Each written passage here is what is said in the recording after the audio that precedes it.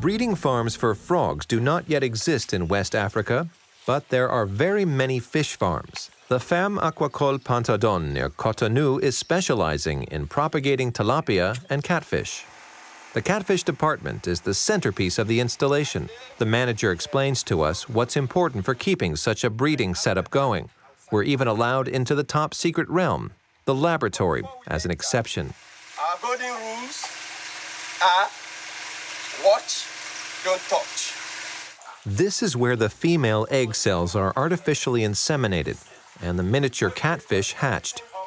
Everything is done under practically sterile conditions. Required for this high volume breeding are large quantities of antibiotics and strict management of the fish. Such a system could surely be adopted for breeding frogs, but our approach is different. We want to combine frog farming with rice farming. We find a similar approach in Parakou, aquaponics. The managing director explains the basic principle to us. The water and excrement from the fish ponds is used to fertilize the plants. This station uses a multi-tiered filter system. The water makes a few rounds through the fish pond before it ends up as fertilizer on the lettuce beds. There are two advantages to this gentler form of cultivation. It's inexpensive and simpler to perform. Also, farmers are free to come to the station and learn how to do it.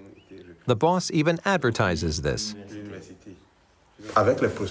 We distribute flyers and advertise on the radio. People pay attention. They feel they need to learn more about it. The offer to train people has already made the rounds amongst the local farmers. There have even been participants from abroad. They can't be away from their work for long, and our courses only take one or two months at most. What we've seen and heard here strengthens our resolve. It can be successful if the method of breeding frogs in rice paddies is kept simple, and the method can be disseminated. In the end, the rice farmers have to become frog conservationists because frogs are their livelihood.